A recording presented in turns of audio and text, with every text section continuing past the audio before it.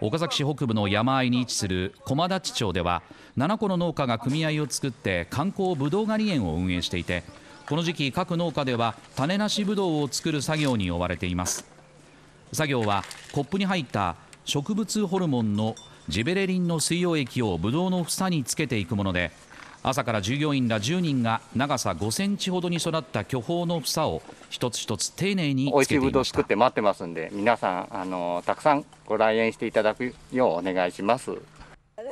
今年のぶどうは平年並みのまずまずの出来で順調に育てば来月20日からハウスものが。